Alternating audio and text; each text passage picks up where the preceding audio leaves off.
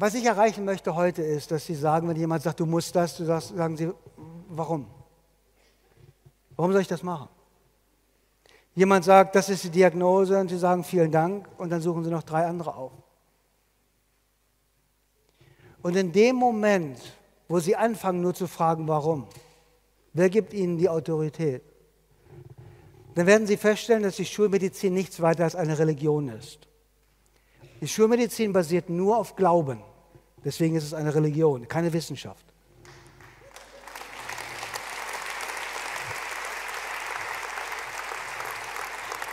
Ich kann Ihnen das auch beweisen.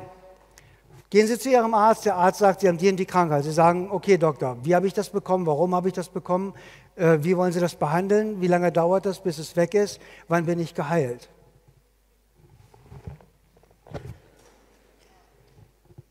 Ich weiß nicht. Irgendwelche Ideen? Ich glaube,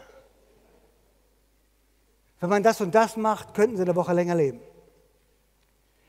Ein Arzt wird immer sagen, ich glaube, weil es gibt, wie die uns reintricksen zu glauben, dass die Schulmedizin eine Wissenschaft ist, ist ganz simpel. Die nehmen Wissenschaft wie Bluttests und Blutwerte. Wissenschaft.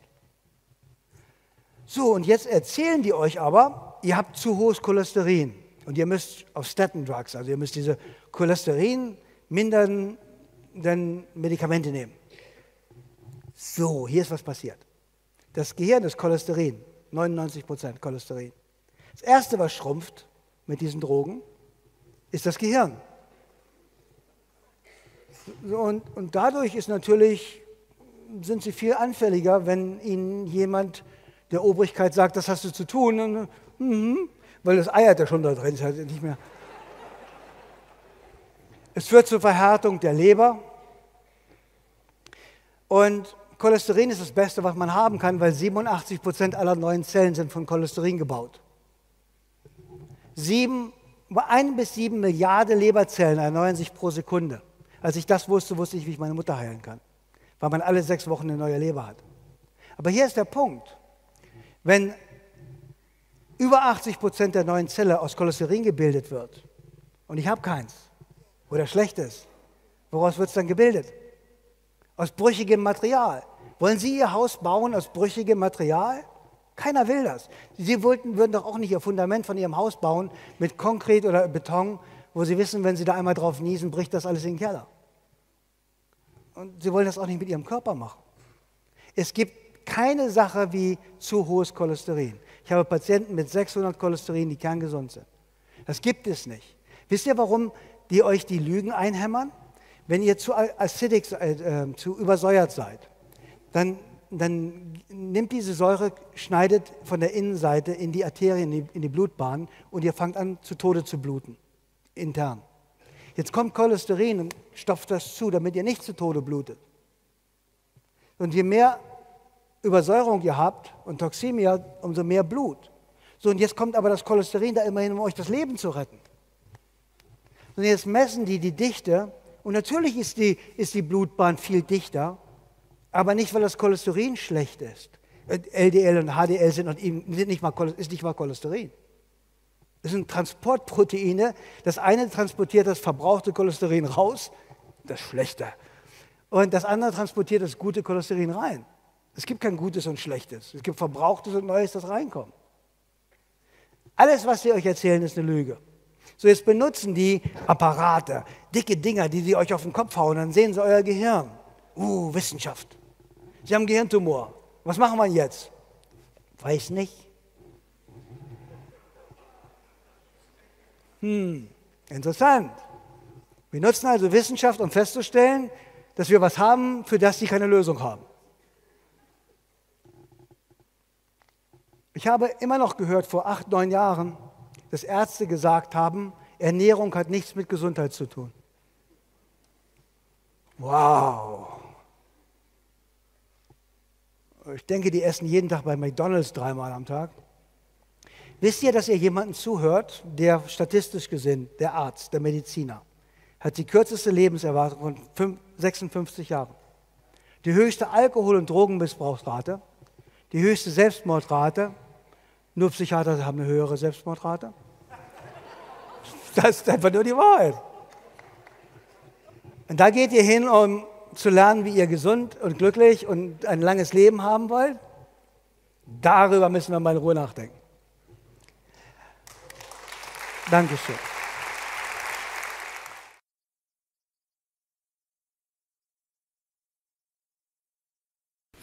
Wir hatten auch eine Parallelstudie laufen, die habe ich jetzt völlig vergessen, an der Universität Gießen beim Professor Schliebhage. Der war Chefarzt und der eigentliche Erfinder der Hyperthermie als medizinisches Verfahren.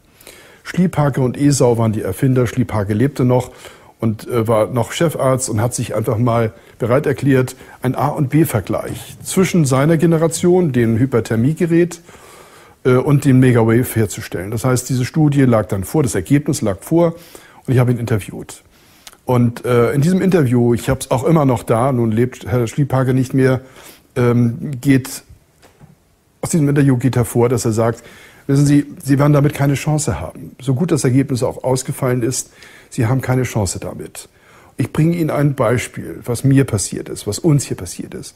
Wir haben hier am Universitätsklinikum äh, über äh, das Thema Cholesterin geforscht und haben zunächst mal geglaubt, so wie es uns eigentlich auch angeboten oder verkauft wurde. Ich zitiere der Original.